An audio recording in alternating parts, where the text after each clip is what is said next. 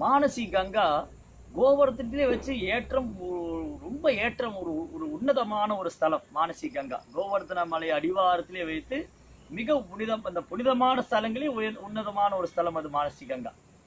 அற்புதமாக லீலை நடந்தது மானசி கங்காவில் என்ன ஆகும்னா ஒரு சமயம் கிருஷ்ணா கிருஷ்ணா வந்து விருந்தாவனத்தில் இருக்கும்போது நிறைய அசுரங்களை கொள்றதுக்கு கம்சன் அனுப்பிச்சுட்டே இருப்பான்.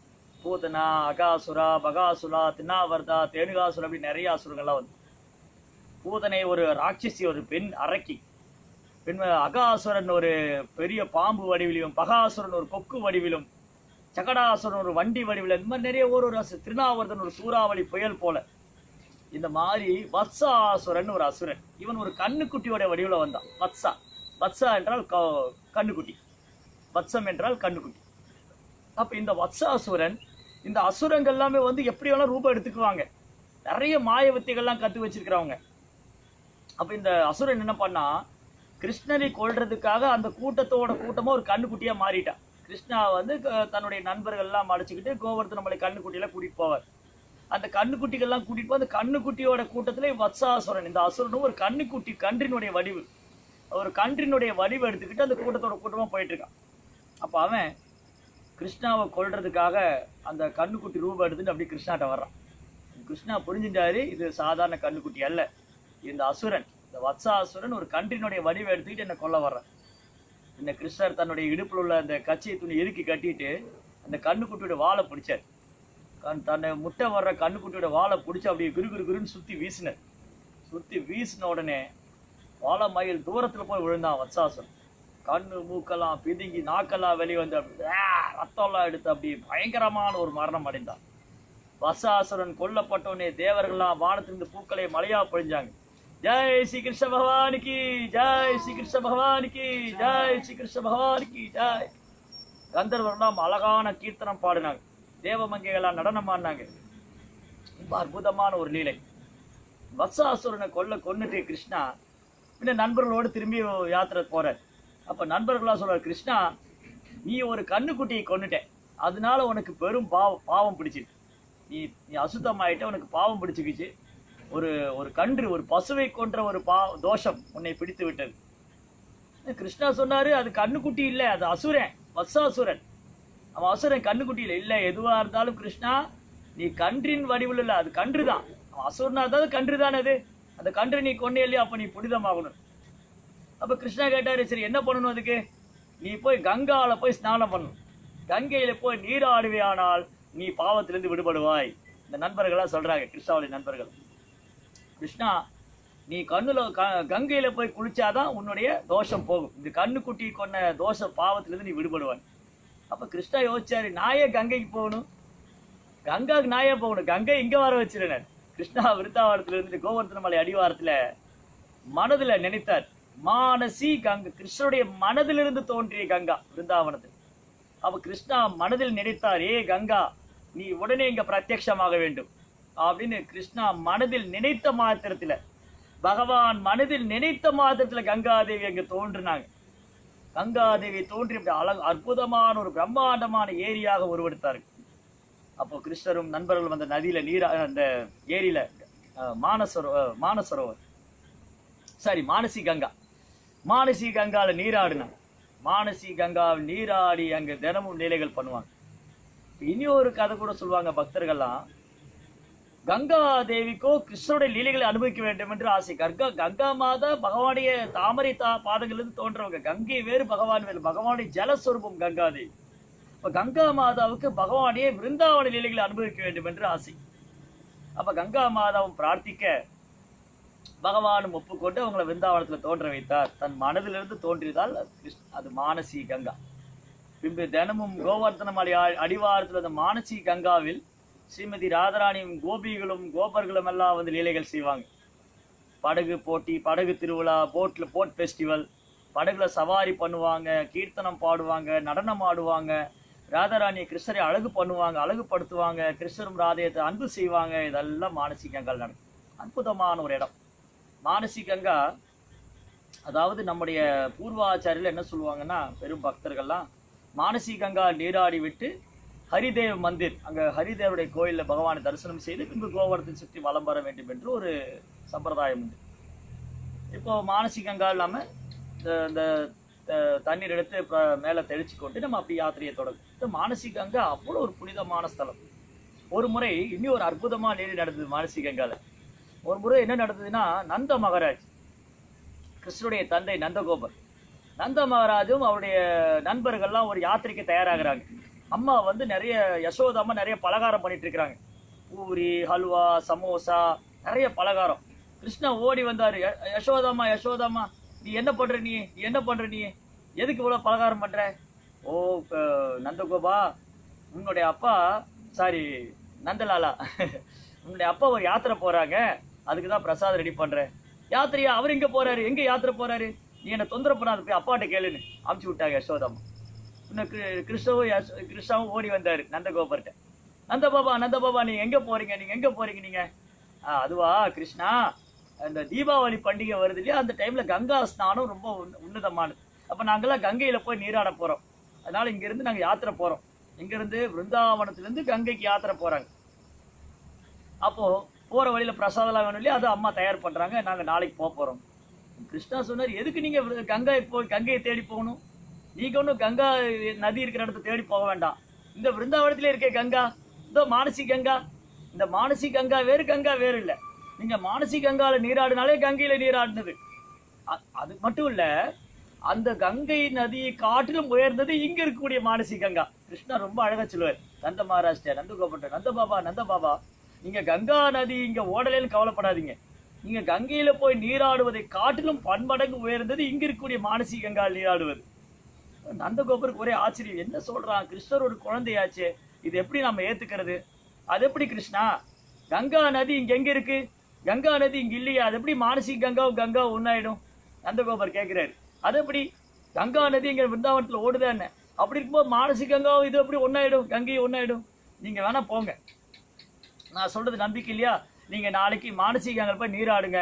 நீங்கள் புரிஞ்சுக்குவீங்க மானசி கங்கா வேறு கங்கா வேறு இல்லை ஏன்னா அதே போல் நந்தகோபர் உ- நந்த நந்தா நந்தநந்தா சுனந்தா எல்லா நந்த நந்தருடைய சகோதரர்கள் விரஜவாசிகள் எல்லாரும் மானசிக நீராட போனாங்க. அப்போ ஒரு அற்புதமான லீலை நடந்தது. மானசி கங்கால நந்த மகாராஜ் தன்னுடைய கோபர்களோடு விருந்தாவன வாசிகள் நீராட போகும்போது கங்காதேவி தோன்றினாங்க. ஒரு அழகான முதலை வாகனத்துல. முதலை வாகனத்துல கங்காதேவி அமர்ந்திருப்பாங்க. முதலை வாகனத்தில் தோன்றி அவர் பகவானை குறித்து பிரார்த்தனை செய்தார். ரஜேந்தன் நந்தன் நந்தநந்தன் கோபானந்தன் விருந்தாவன நந்தன் தாமோதரன் அந்த பகவானுடைய தெய்வீகமான நிலைகளை குறித்து பிரார்த்தனை செய்தார். அப்பொழுது நந்தகோபர் புரிந்து கொண்டார் ஆ அப்ப கிருஷ்ணர் சொன்னது சரிதான். இங்கு கங்காதேவியை தோன்றி உறுதிப்படுத்திக்கிட்டாங்களே உறுதிப்படுத்தினால் கங்காதேவி. கங்கா மாதா உறுதிப்படுத்தினாங்க நீங்க நினைக்கிற மாதிரி இது சாதாரண இடம் இல்ல. இது பகவானுடைய தாமரை பாதங்கள் பற்ற இடம் இது.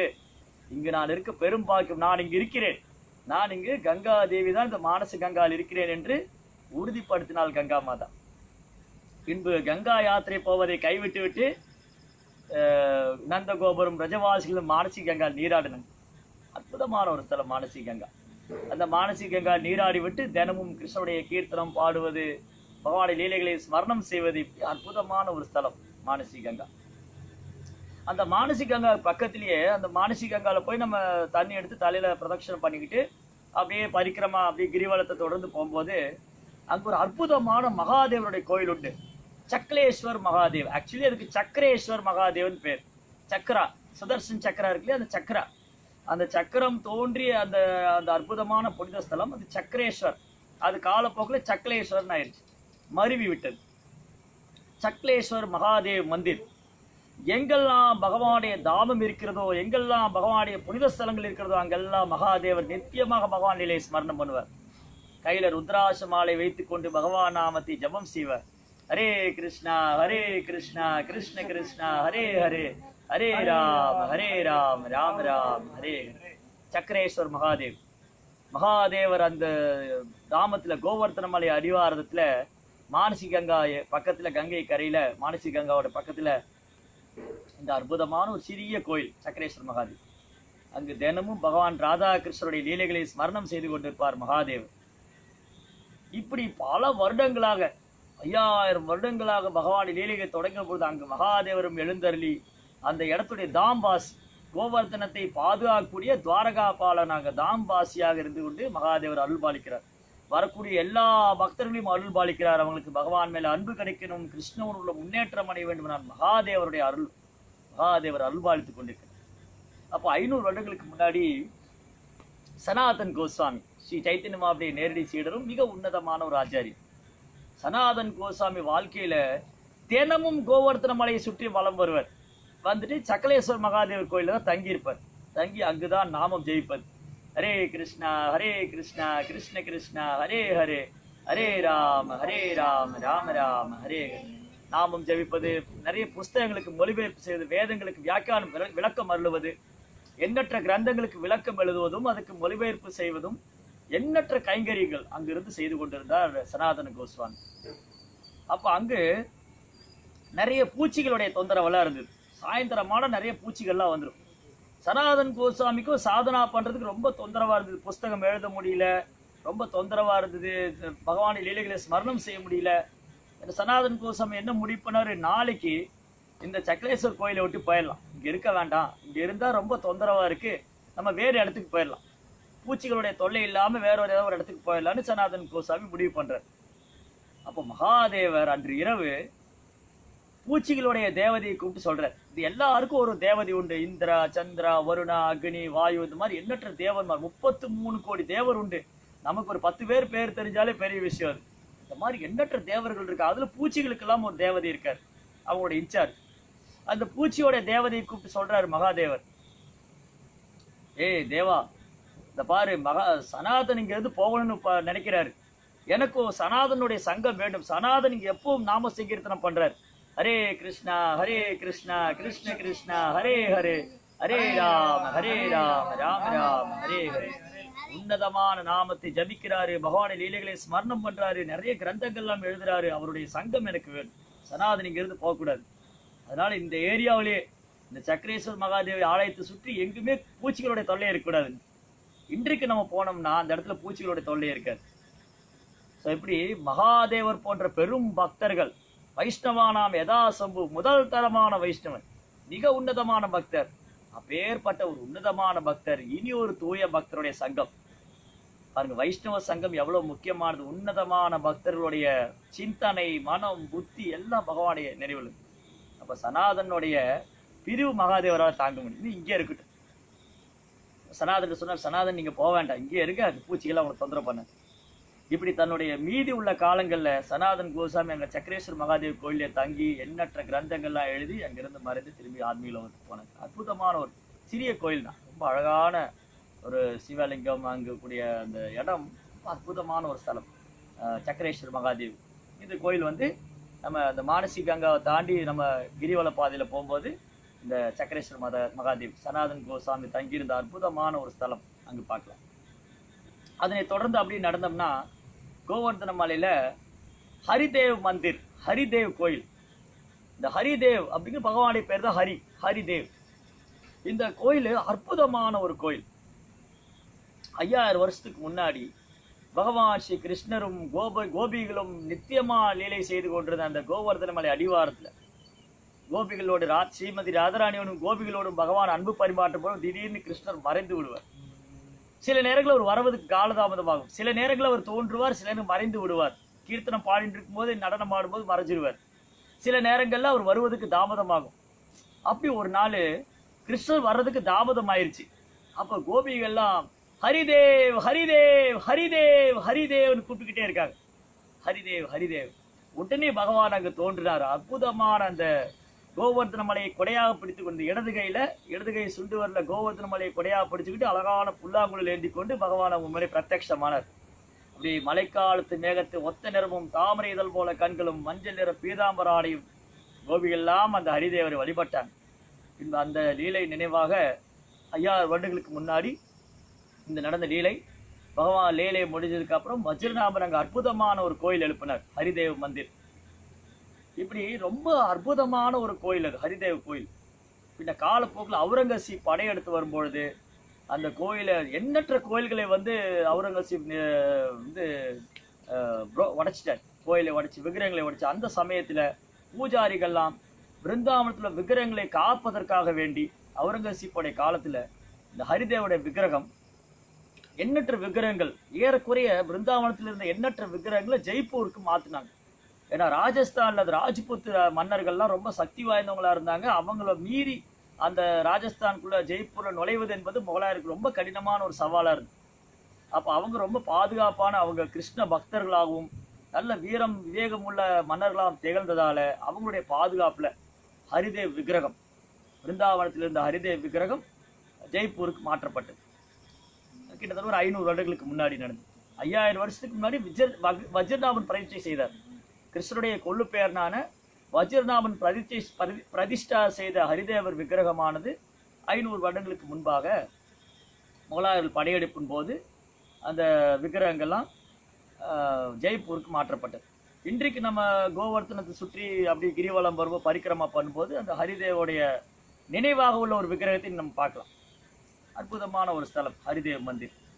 அந்த ஹரிதேவ் மந்திரை தொடர்ந்து நம்ம யாத்திரை போயிட்டே இருந்து நடந்து போய் அப்படியே நாம ஜபிச்சுட்டே போனோம்னா முகாரவிந்த மந்திர் அப்படி ஒரு முகாரவிந்தம் கோவர்த்தனுடைய முகம். இந்த ஒட்டுமொத்த கோவர்த்தன மலையும் பார்த்தோம்னா ஒரு பெரிய மயில் மாதிரி இருக்கும். நீ மயில் இப்படி தோகையெல்லாம் இருக்கும் இல்லையா? ஒரு மயில் தோகை பறந்திருந்தார் போல ஒரு அற்புதமான ஒரு தோற்றம்.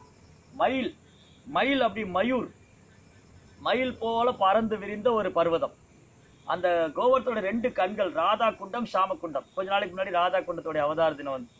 ராதா குண்டம் ஷாம குண்டம் கோவர்த்தோட இரண்டு கண்கள். இந்த முகார விந்துங்கிற இடம் வந்து கோவர்த்தத்துடைய முகம். அரவிந்தமான அழகான ஒரு முகம் கோவர்த்தன் ஷீலா. இன்னைக்கு நம்ம போனோம்னா அந்த இடத்துல கோவர்த்தன் ஷீலா. அந்த கோவர்த்தன் மலையோட சிறிய ஒரு ஷீலா ஒன்று இருக்கும் அந்த இடத்துல எல்லா பக்தர்கள்லாம் வழிபாடு செய்து தீபாரா தீபங்கள்லாம் காட்டி வழிபாடு செய்வாங்க கீர்த்தனம் பண்ணுவாங்க. இது மானசி கங்காவுடைய கொஞ்ச தூரம் அப்படி நடந்து போகும்போது இந்த முக்கார விந்தம்ங்கிற ஒரு அழகான இடம். ரொம்ப அற்புதமான ஜத்திப்பூர் அப்படிங்கிற கிராமம். இந்த ஜத்திப்பூர் கிராமத்தில் தான் முக்காரவிந்தம்ங்கிற இந்த கோயில் ஒரு சின்ன கோயில். சுற்றி நம்ம கிரிவல பாதையில பரிக்கிரமா வரும்போது இந்த இடத்தையும் பார்க்கலாம். இந்த முக்காரவிந்தத்துல கோவர்த்தன் சீலாவை தரிசனம் செய்து விட்டு அப்படி சுற்றி வளம் வந்துட்டு அப்படியே கிரிவலத்தை தொடர்ந்து நம்ம பரிக்கிரமா செய்து போகும்போது சக்கர தீர்த்தான்னு ஒரு இடம் வரும். சக்கர தீர்த்தா சக்கரா அப்படின்னா பகவானுடைய அஸ்திரம் சுதர்சன் சக்கரா. இந்த சுதர்சனம் எல்லா லீலைகள்லையும் பகவானுடைய பக்தர்கள் பங்கு கொள்வாங்க. ஆனா பிருந்தாவன லீலையில ஒரு சில பக்தர்களுக்கு எந்த ஒரு இப்ப சுதர்சனம் எதுக்காக? சுதர்சனம் வந்து பக்தர் அல்லாதவங்களையும் தண்டிப்பதற்காக. பக்தர்களுக்கு அடைக்கலம் கொடுத்து பக்தர் அல்லாதவங்களை தண்டிப்பதற்கு. ஆனா பிருந்தாவன லீலையிலோ கிருஷ்ணர் எந்த ஒரு அஸ்திரமும் ஏற்றுக்கொள்வதில்லை. அவர் எப்பவுமே கோபாலனாக புல்லாங்குழல் ஏந்தி கொண்டு வேணும் கனந்தமரவிந்த தலாயதாட்சம் வர்ஹாவதம் சமசிதாம்புத சுந்தராங்கம் கந்தர்ப்ப கோட்டி கமனீய விசேஷ சோபம் கோவிந்தம் ஆதி புருஷம் தமகம் பஜாமி. பிருந்தாவன கிருஷ்ணர்கிட்ட சக்கரம் கிடையாது சுதர்சனம் கிடையாது கதை கிடையாது சாரங்கம் வில்லு கிடையாது. அவர் வெறும் புல்லாங்குழல் மட்டுமே ஏந்திருப்பார். கையில் ஒரு அந்த மாட்டு மாடு மேய்க்கிற தடி அந்த ஸ்டிக் வச்சிருப்பார். அவ்வளோதான் இல்லை இந்த குழல் எருமை கும்பாலான குழல் இதுதான் அந்த கோபர்கள்லாம். பிருந்தாவ பிருந்தாவன கிருஷ்ண ஒரு ஆயர்குல சிறுவன் இடையர்குல சிறுவன். அங்கு கோபர்களோடும் கோபிகளோடும் நித்தியமான அன்பு பரிமாற்றம் செய்கிறார் கோவர்த்தன மலை அடிவாரத்துல.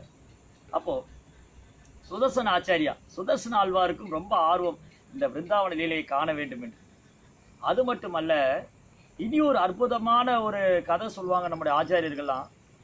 இந்த கோவர்த்தன மலையை கிருஷ்ணர் குடையாக பிடித்திருந்த பொழுது ஏழு நாளும் கடினமான மழை பெய்து குடையாக பிடித்திருந்தார் கிருஷ்ணா. அந்த நேரத்தில் மழையெல்லாம் நீண்டதுக்கு நீ- நீண்டு விட்டதுக்கு அப்புறம் சுதர்சனம் ஏழு நாட்கள் பிருந்தாவனத்தில் நதிகள்லாம் வற்ற செய்தார். வற்ற செய்து சுதர்சனம் அங்கு வந்து அந்த பணியை செய்துவிட்டு பிருந்தாவனத்தை சுற்றி வலம் வந்து ஏழு நாள் அங்கே தங்கியிருந்து பிரபுவுடைய திருவடிகளை பிரார்த்தனை செய்ததுனால அவரும் பிரார்த்தித்தார் பிரபு எனக்கும் ஒரு இடம் கொடுங்க. பிருந்தாவனத்தில் எனக்கு ஒரு இடம் கொடுங்க. உங்கள் லீலைகள்லாம் நான் ஸ்வர்ணம் செய்ய வேண்டும். அப்போ இப்படி ஒரு கைங்கரியம் செய்ததுனால சுதர்சனத்துக்கு பிருந்தாவனத்தில் பகவான் இடம் கொடுத்தார். கோவரத்தில் அடிவா கோவர்த்தன மலை அடிவாரத்தில் சக்கர தீர்த்தம் என்று ஒரு அற்புதமான குளம். சுதர்சனத்துடைய சுதர்சன அங்க தீர்த்த வடிவில் இருந்து கொண்டு பகவானை லீலகிரி ஸ்மரணம் செய்து கொண்டிருக்கிறார். சக்கர தீர்த்தம். அந்த சக்கர தீர்த்தத்தில் வந்து நம்ம தரிசனம் பண்ணிக்கிட்டு அப்படியே கொஞ்சம் தூரம் நடந்து வந்தோம்னா தான் கா- காட்டின்னு பேர் தான் காட்டி. தான் அப்படின்னா டேக்ஸ் கலெக்ட் பண்ணுறது இது ஒரு அற்புதமான லீலை. நிறைய தடவை பக்தர்கிட்ட இதெல்லாம் கேட்டிருப்பீங்க. நம்முடைய பூர்வாச்சாரியரான ரகுநாதாஸ் கோஸ்வாமி. அற்புதமான தான் கேலி கௌமுதின்னு ஒரு அழகான புஸ்தகம். அழகான விளக்கம். இது ஒரு ஒரு அற்புதமான சந்தோஷம் தரக்கூடிய ஒரு லீலை. அதாவது பகவான் கிருஷ்ணர் என்ன பண்ணுவாங்க? இந்த கோபிகள்லாம் ஸ்ரீமதி ராதாராணி லலிதா விசாகா இவங்கெல்லாம் வந்து தயிர் வெண்ணெய் இதெல்லாம் சேல் பண்ணுறதுக்காக போவாங்க மதுராவுக்கு. போகிற வழியில் இவங்க என்ன பண்ணுவாங்க கிருஷ்ணா நண்பர்கள்லாம் வந்து இந்த டேக்ஸ் கலெக்டர் மாதிரி எல்லாம் வேஷம் போட்டுக்குவாங்க. உடம்பால் ட்ரெஸ் எல்லாம் மாற்றிக்கிட்டு மீசையெல்லாம் வச்சுக்கிட்டு இந்த ஏரியாவை நீங்கள் கடந்து போனால் நீங்கள் டேக்ஸ் கட் வரி கொடுக்கணும். வரி கொடுக்காம நீங்கள் இந்த ஏரியாவை கடந்து போகக்கூடாது அப்படின்னு வழி மறிச்சிடுவார் வழி மறித்து அவங்ககிட்ட வரி வசூல் பண்ணுவார். அது இந்த இடம் தான். கோவர்த்தன மலை அடிவாரத்தில் கிருஷ்ணா வரி வசூல் பண்ணுற இடம்.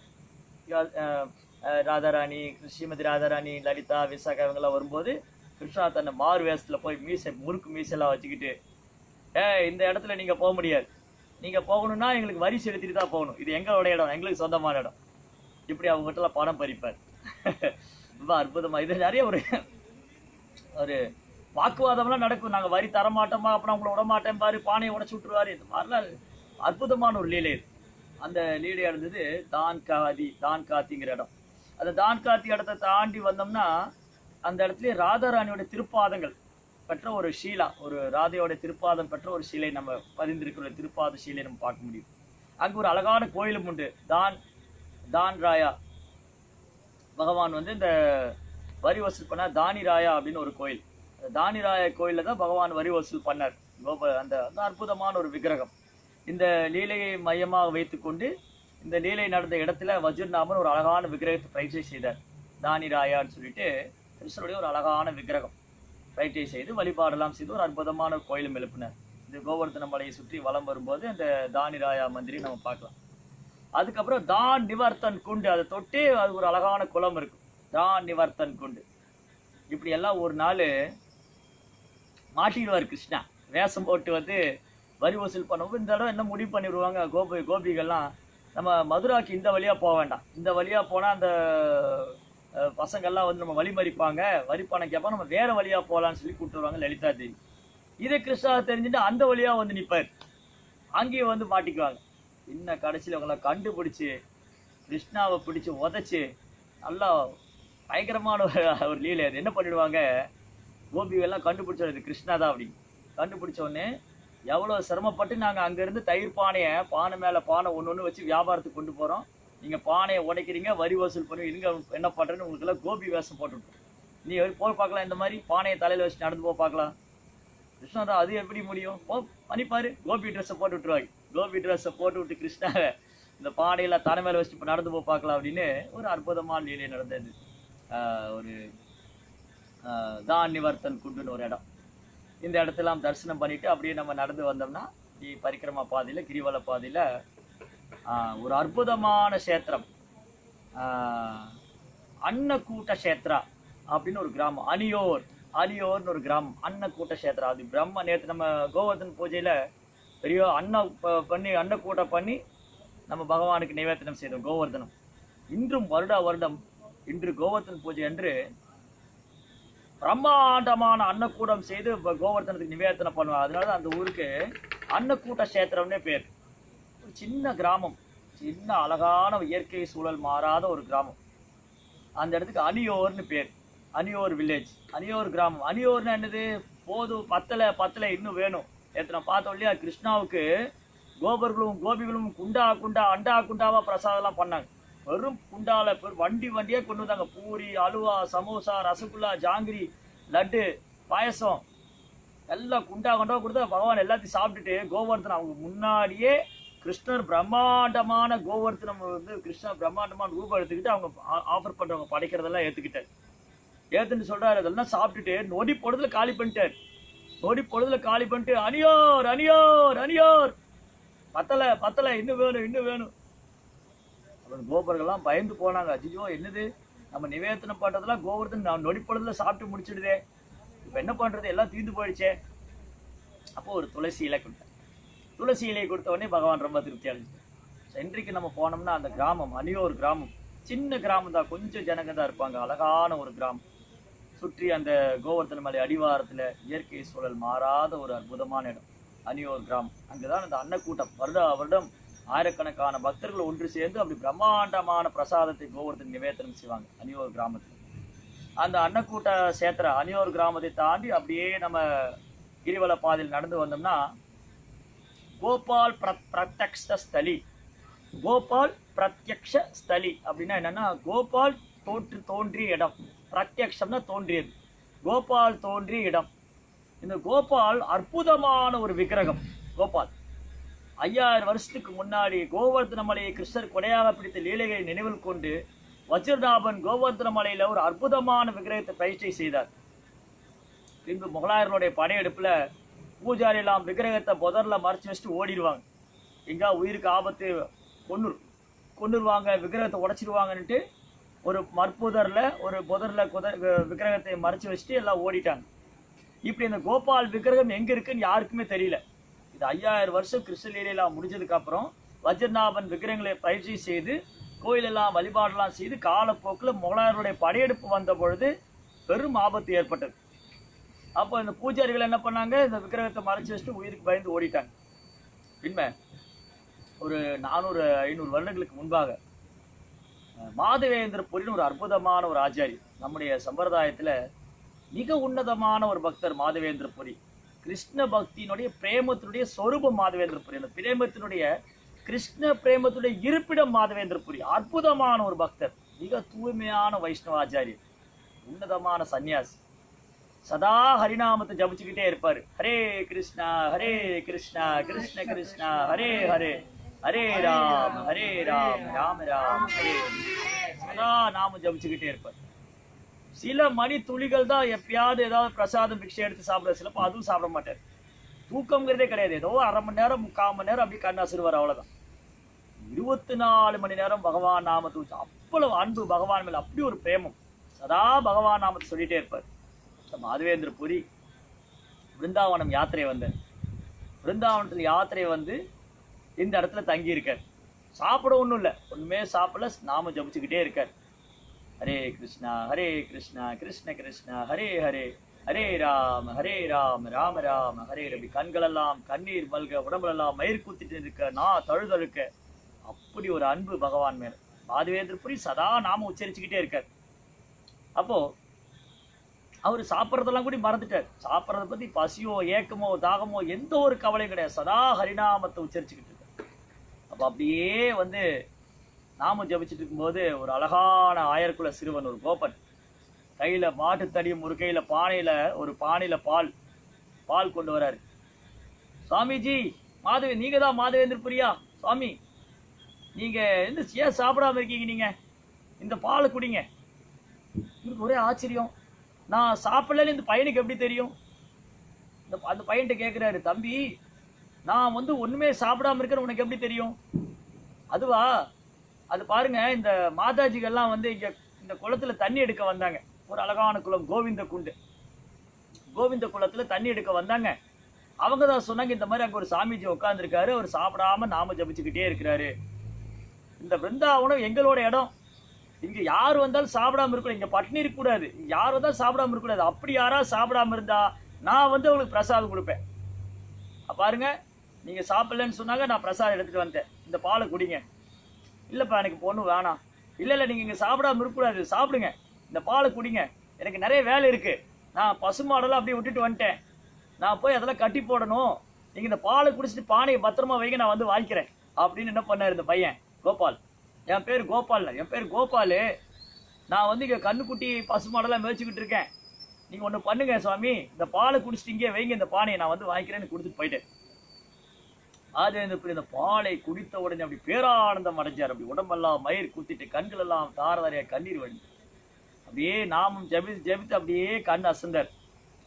கண் அசரும் பொழுது அவருடைய கனவுல இந்த பால் கொண்டு வந்த பையன் திரும்பவும் தோன்றினார். அந்த கோபால் ஓ மாதவேந்திரபுரி மாதவேந்திரபுரி நான் தான் கோபால்.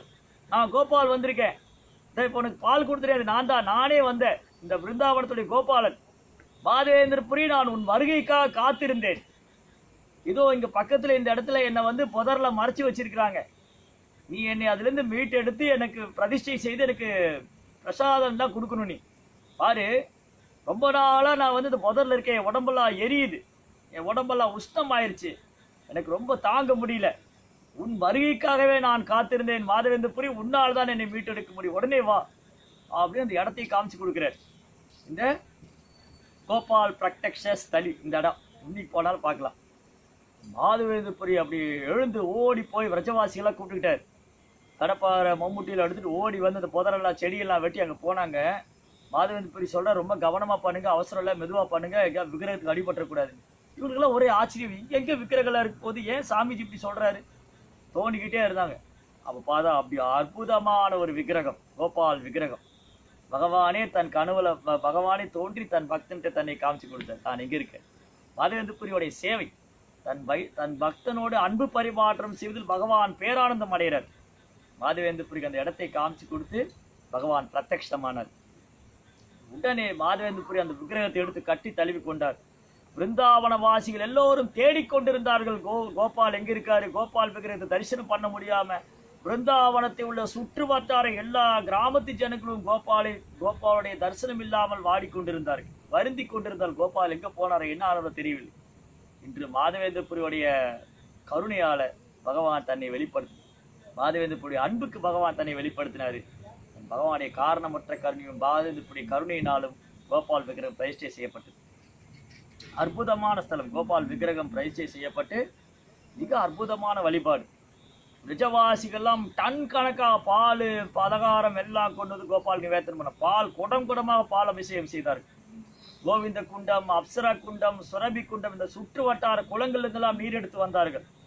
சுரபி குண்ட் கோவிந்த குண்டு அப்சரா குண்ட் எல்லா குளத்திலும் நீர் எடுத்து வந்து கோபாலுக்கு அபிஷேகம் பண்ணாங்க. இப்படி பிரம்மாண்டமான அபிஷேகம் எல்லாம் செய்து அந்த கோபால் விக்கிரக கோபால் ராய மந்திர் அங்கே ஒரு கோயிலும் இருக்கு. ஆக்சுவலி இந்த கோயில் கோவர்த்தன மலையில் இருந்தது. ஆனால் மலை மேலே யாரும் ஏற மாட்டாங்க. அது ஐயாயிரம் வருஷத்துக்கு முன்னாடி இருந்த பொழுது வஜ்ரநாபன் பிரதிஷ்டை பண்ண விக்கிரகம். ஆனால் மாதவேந்திரபுரி கண்டுபிடித்த உடனே சைத்தன்ய மகாபிரபு அதாவது நம்முடைய ஆச்சாரியர்கள் மாதவேந்திரபுரி சைத்தன்ய மகாபிரபு இவங்க யாருமே கோவர்த்தன மலையில் ஏற மாட்டாங்க. ஏன்னா கோவர்த்தனம் வேறு கிருஷ்ணர் வேறு அல்ல. இப்போ இந்த மாதவேந்திரபுரி என்ன பண்ணுவாங்க? கோவர்த்தனத்தை இந்த இந்த பரிக்கிரம பாதையில் விக்கிரகளை இந்த கோபால் விக்கிரகத்தை பயிற்சி செய்து வழிபாடு செய்கிறாங்க ஆனா பின்பு வந்து முகலாயர்கள் படையெடுப்பு வந்த பொழுதும் இந்த கோபால் விக்கிரகம் இன்றைக்கு ராஜஸ்தான்ல நத்வார்னு ஒரு கிராமம் ஸ்ரீநாத்ஜி மந்திர். ஸ்ரீநாத்ஜி மந்திர் அற்புதமான ஒரு விக்கிரகம். அப்படி கோவர்த்தனத்தை கொடையாக பிடித்தது போல ஒரு விக்கிரகம். இன்றைக்கு போனாலும் பார்க்கலாம். அப்படி ஒரு அழகான அஹ், ராஜஸ்தான் மாநிலத்துல அஹ், கிராமம். சின்ன ஒரு கிராமம் அப்படி ஒரு அழகு. எல்லா பக்தர்களும் அன்போடு வந்து பகவானுக்கு ஆர்த்திலாம் செய்து பிரசாதமெல்லாம் நிவேத்தனம் செய்து கீர்த்தனமெல்லாம் பாடி ரொம்ப ராஜ உபச்சாரம் நடக்கும் அற்புதமான உபச்சாரம்.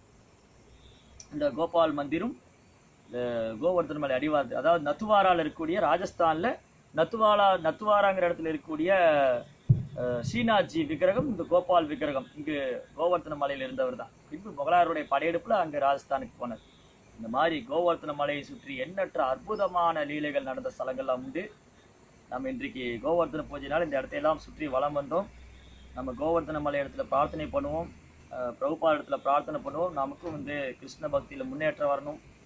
அறியாமை கோபம் பொறாமை அகங்காரம் எல்லா விதமான பௌதிகமான குலத்தில் நாம் விடுபட்டு நாம் மிக உன்னதமான பக்தராகணும்னு பிரார்த்தனை பண்ணுவோம். ஹரே கிருஷ்ணா.